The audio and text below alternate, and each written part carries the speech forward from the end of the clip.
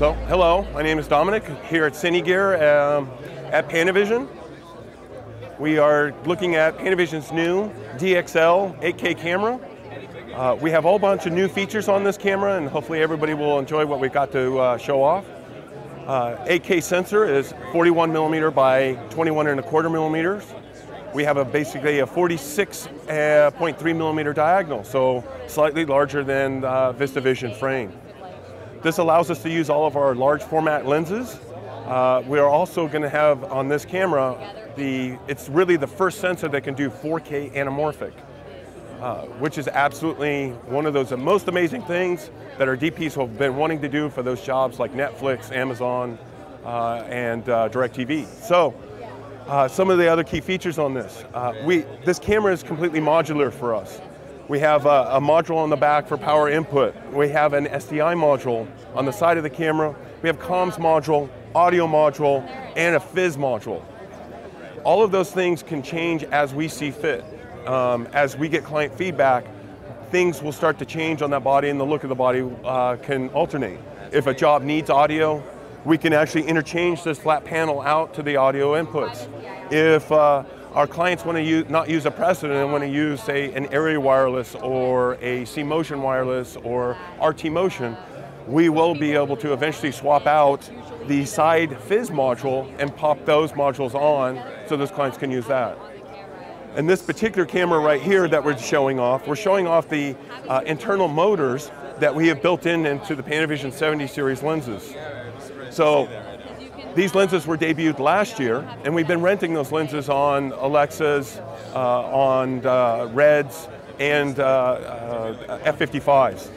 With that in mind, we've never activated the motors that are inside those, which are in all of our 70 series lenses. So here we have a Preston modified MDR. This MDR here will be uh, ported over and all the electronics will be moved inside of this. But this is allowing us to see a camera now with no external motors driving the lenses. This has been a really kind of a cool feature. This also allows us to now quickly port this camera from studio mode over to Steadicam and not have to rebalance everything due to the fact that motor movement or motor placement has changed.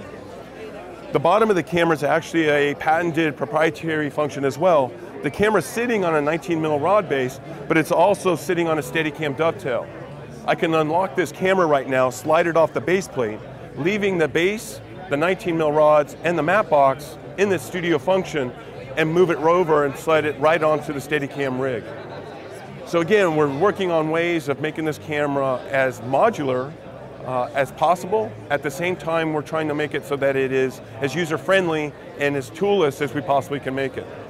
Now when it comes to image quality, Light Iron Color, who was developed by our Light Iron company, has actually done a great job about going for the most aesthetically pleasing color palette that you can can off of these sensors.